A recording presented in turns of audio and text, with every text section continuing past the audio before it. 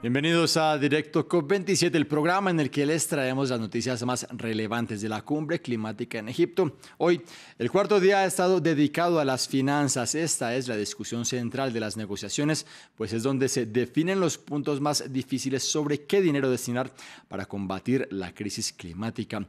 Uno de los anuncios más esperados fue el que hizo hoy John Kerry, el enviado especial de la Casa Blanca para el clima.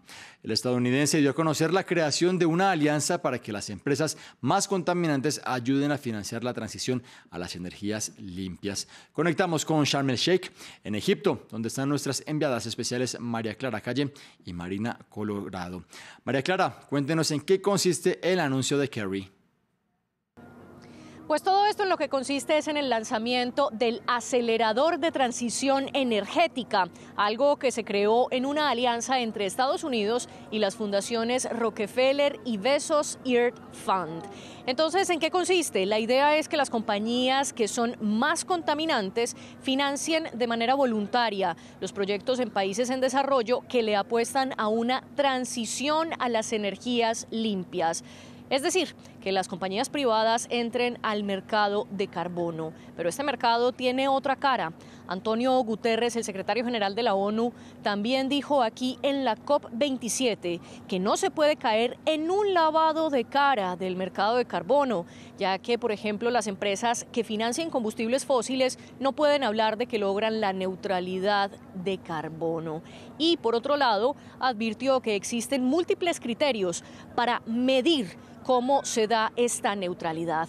A pesar de la advertencia de Guterres, John Kerry dijo que había hablado con el secretario general y que él apoyaba el acelerador impulsado por Estados Unidos. Y es que este acelerador tendrá ciertos criterios, como por ejemplo, no podrán participar compañías que se dedican o, que no tengan la promesa de lograr las cero emisiones netas a 2050.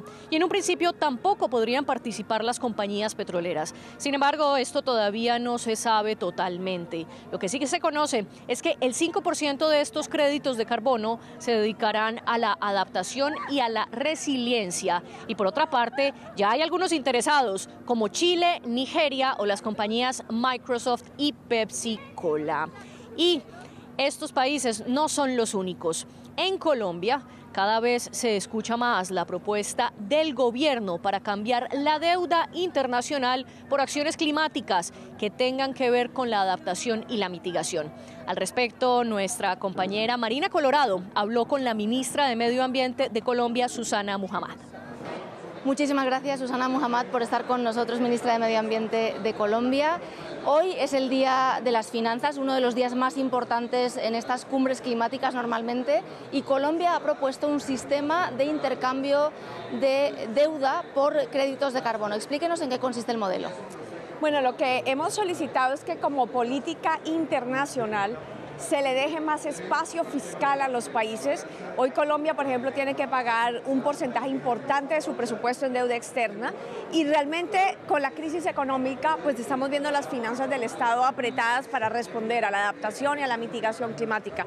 Si queremos avanzar en los tiempos que necesitamos, no necesitamos solo cooperación internacional, sino que nuestros estados se fortalezcan y puedan responder.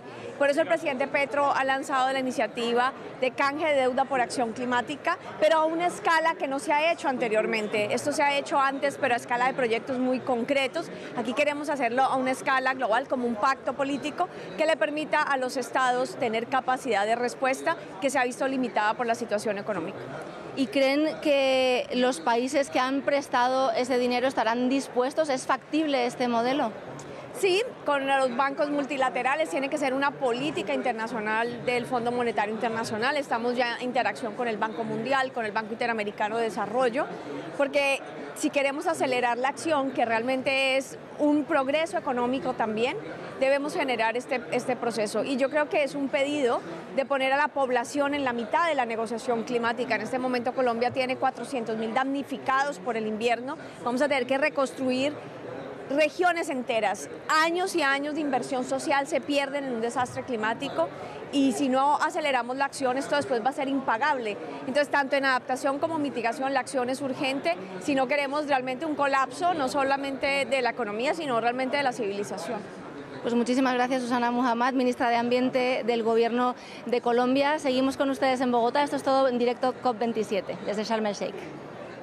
Era Marina Colorado y María Clara Calle, enviadas especiales de France 24 Egipto. Les recordamos que Directo COP27 se emite de lunes a sábado a las 12 y 15 horas de Bogotá, Quito y Lima hasta el 18 de noviembre cuando se clausura esta cumbre. Ustedes quédense aquí en la pantalla de France 24.